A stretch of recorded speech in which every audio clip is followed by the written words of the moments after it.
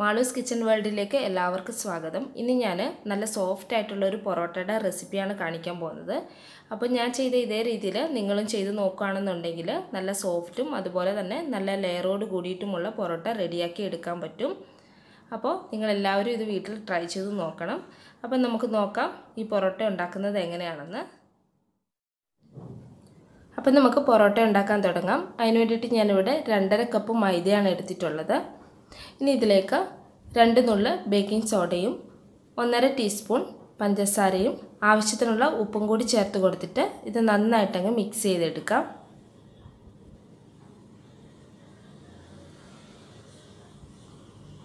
ഇതിപ്പോൾ ഒന്ന് മിക്സ് ചെയ്തെടുത്തിട്ടുണ്ട്. ഇനി ഇതിലേക്ക് രണ്ട് ടീസ്പൂൺ സൺഫ്ലവർ ഒഴിച്ച് കൊടുക്കാം. പിന്നെ ഇനി വേണ്ടത് ഒരു മുട്ടയാണ്. അപ്പോൾ ഒരു മുട്ടയും കൂടി ഇതിലേക്ക് പൊട്ടിച്ചിട്ട് കൊടുക്കാം. എന്നിട്ടിത് നന്നായിട്ടൊന്ന് മിക്സ് ചെയ്തെടുക്കാം.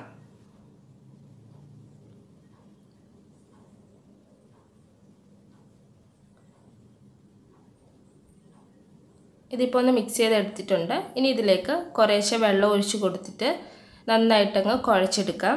അപ്പോൾ ആദ്യം വെള്ളം ഒഴിച്ച് കുഴയ്ക്കുന്ന സമയത്ത് നിങ്ങൾ സ്പൂണ് വെച്ചിട്ടൊന്ന് മിക്സ് ചെയ്തെടുക്കുക. അങ്ങനെയാണെന്നുണ്ടെങ്കിൽ പിന്നീട് നമ്മൾ കൈ വെച്ച് കുഴയ്ക്കുന്ന സമയത്ത് നമ്മുടെ കയ്യിൽ ഒരുപാടങ്ങ് മൈദ ഒട്ടിപ്പിടിക്കത്തില്ല. പിന്നെ കുറേശ്ശെ വെള്ളം ഒഴിച്ചിട്ട് വേണം കുഴച്ചെടുക്കാനായിട്ട്. പിന്നെ ഇത് ഒരുപാട് അങ്ങ് ലൂസായി പോകരുത് അപ്പോൾ നമുക്ക് ഇത് ഉണ്ടാക്കിയെടുക്കാനായിട്ട് കുറച്ച് പ്രയാസമായിരിക്കും.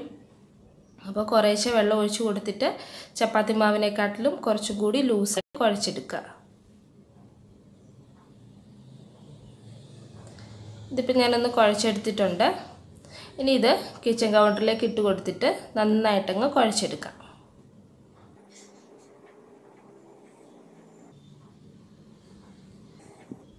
ഇനി കിച്ചൺ കൗണ്ടറിലേക്ക് കുറച്ച് ഓയിലൊന്ന് സ്പ്രെഡ് ചെയ്ത് കൊടുക്കാം.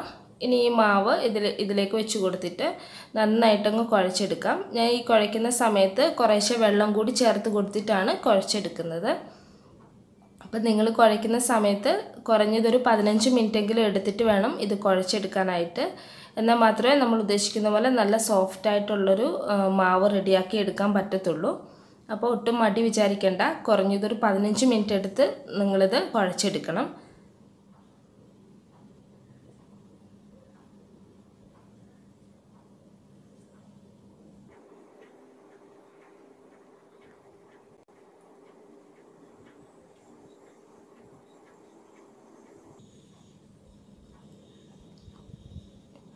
ഇതിപ്പോൾ നന്നായിട്ട് കുഴച്ചെടുത്തിട്ടുണ്ട്.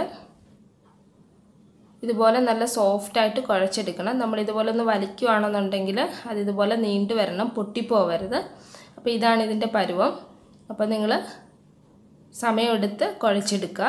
എന്നിട്ട് ഇനി ഇതൊരു പാത്രത്തിലേക്ക് വെച്ച് കൊടുത്തിട്ട് ഒരു നനഞ്ഞ ക്ലോത്ത് വെച്ചിട്ട് ഇതങ്ങ് മൂടി വെക്കുക. എന്നിട്ട് ഇനി ഇതൊരു കുറഞ്ഞത് രണ്ട് മണിക്കൂറെങ്കിലും നിങ്ങളിതൊന്ന് റെസ്റ്റ് ചെയ്യാൻ വേണ്ടിയിട്ട് വെക്കുക. എന്നാൽ മാത്രമേ നമ്മൾ ഉദ്ദേശിക്കുന്ന പോലെ നല്ല സോഫ്റ്റ് ആയിട്ടുള്ള പൊറോട്ട നമുക്ക് ഉണ്ടാക്കിയെടുക്കാൻ പറ്റത്തുള്ളൂ. ഇതിപ്പോൾ മൂന്ന് മണിക്കൂർ ഞാനിത് റെസ്റ്റ് ചെയ്യാൻ വേണ്ടിയിട്ട് വെച്ചിട്ടുണ്ടായിരുന്നു. ഇതിപ്പോൾ നല്ല സോഫ്റ്റ് ആയിട്ടിരിക്കുന്ന ഒരു മാവാണ്. ഇനി ഇതിന്റെ മുകളിലോട്ട് കുറച്ച് ഓയിലൊന്ന് സ്പ്രെഡ് ചെയ്ത് കൊടുക്കുക. അതിനുശേഷം നമുക്കിത് ബോൾസ് ആയിട്ടൊന്ന് ഉരുട്ടിയെടുക്കാം.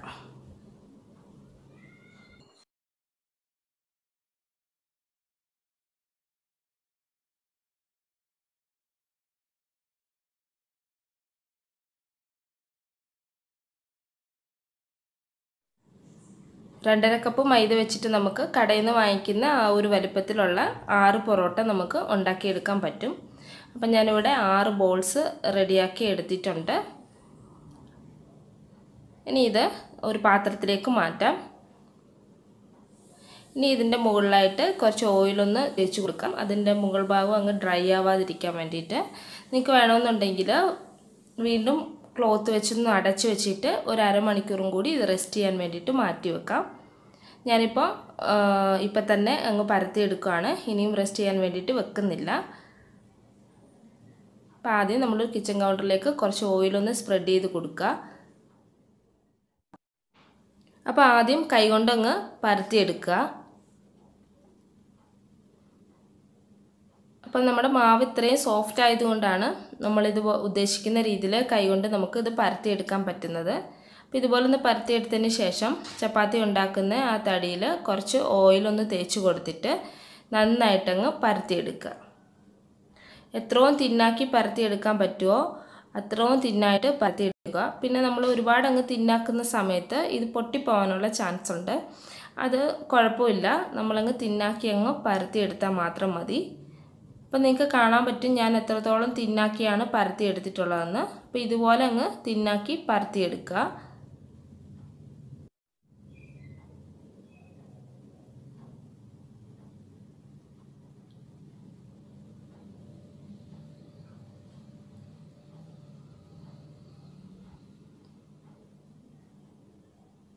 ഇതിപ്പോൾ അങ്ങ് പരത്തിയെടുത്തിട്ടുണ്ട് ഇനി ഇതിന്റെ മുകളിലായിട്ട് കുറച്ച് ഓയിലങ്ങ് ഒഴിച്ചു കൊടുക്കാം.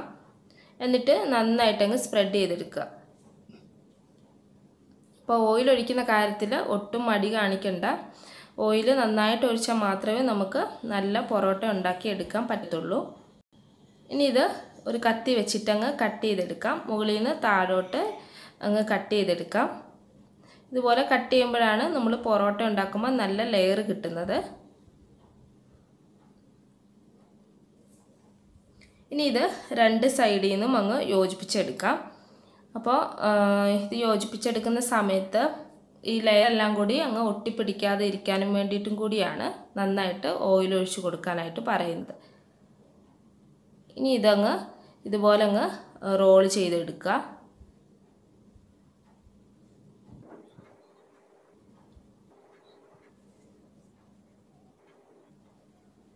അപ്പോൾ ഇതുപോലെ ആക്കി എടുക്കുക. അതിനുശേഷം ഇതിന്റെ മുകളിലോട്ട് കുറച്ച് ഓയിലും കൂടി ഒഴിച്ചു കൊടുത്തിട്ട് ഇതൊരു പരന്ന പാത്രത്തിലേക്ക് മാറ്റി വെക്കാം.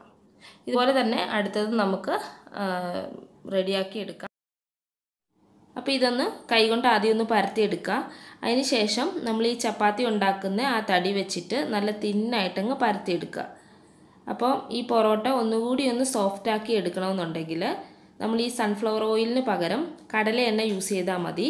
കടല എണ്ണ എന്ന് പറയുന്നത് പീനട്ട് ഓയിലാണേ അപ്പോൾ എല്ലാവർക്കും ഈ കടലയെണ്ണയുടെ ടേസ്റ്റ് ഇഷ്ടപ്പെടത്തില്ല. അങ്ങനെയുള്ളവർ സൺഫ്ലവർ ഓയിലും കടല എണ്ണയും കൂടി മിക്സ് ചെയ്തിട്ട് ഈ പൊറോട്ടയ്ക്ക് എടുക്കുക. എന്റെ അടുത്ത് ഇപ്പോൾ ഇല്ലാത്തതുകൊണ്ട് ഞാൻ കടല എണ്ണ യൂസ് ചെയ്യുന്നില്ല.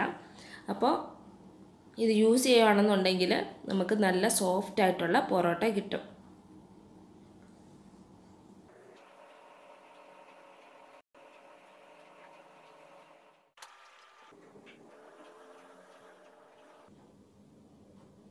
ഇതിപ്പോൾ ഒന്ന് പരത്തിയെടുത്തിട്ടുണ്ട്. ഇനി ഇതിന്റെ മുകളിലായിട്ട് ഓയിൽ ഒഴിച്ച് കൊടുക്കുക. എന്നിട്ട് നന്നായിട്ട് അങ്ങ് സ്പ്രെഡ് ചെയ്തെടുക്കുക.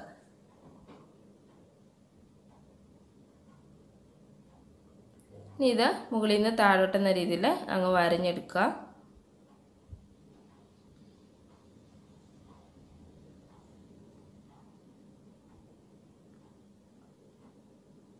എന്നിട്ട് ഇനി ഇത് രണ്ട് സൈഡിൽ നിന്നും അങ്ങ് യോജിപ്പിച്ചെടുക്കുക. അതിനുശേഷം ഇതങ്ങ് റോൾ ചെയ്ത് എടുക്കുക.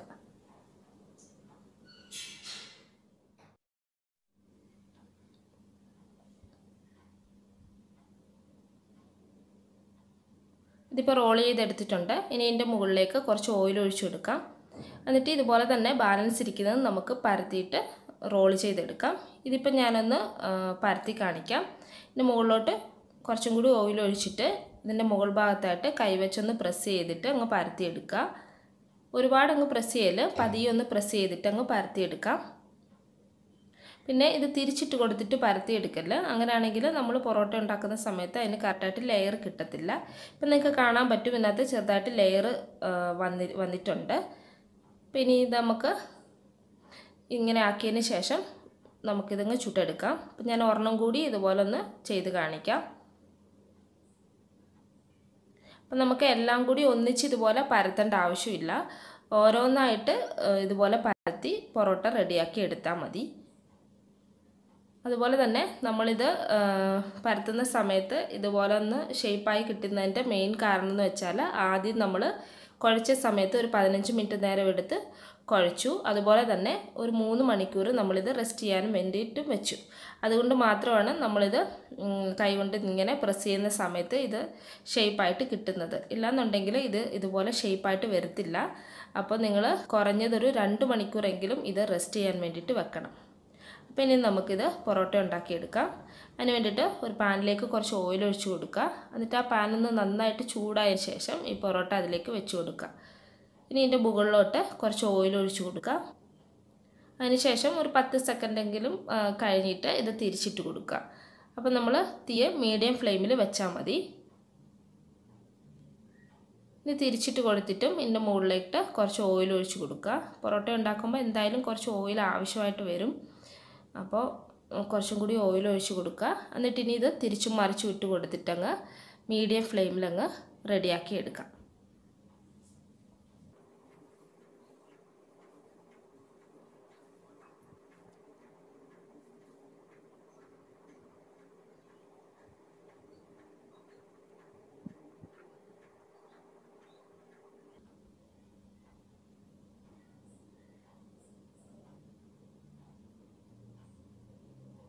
ഇപ്പം നമുക്ക് അതിന്റെ ലെയറൊക്കെ ഇങ്ങനെ വിട്ട് വന്നത് കാണാൻ പറ്റുന്നുണ്ട്. ഇനി നമുക്ക് ഇതിനകത്തുനിന്ന് ഇതങ്ങ് മാറ്റാം.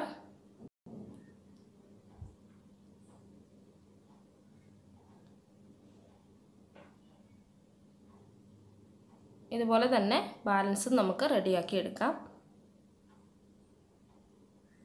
അപ്പോൾ തീ എപ്പോഴും മീഡിയം ഫ്ലെയിമിൽ ഇട്ടിട്ട് വേണം ഈ പൊറോട്ട ഉണ്ടാക്കിയെടുക്കാനായിട്ട്.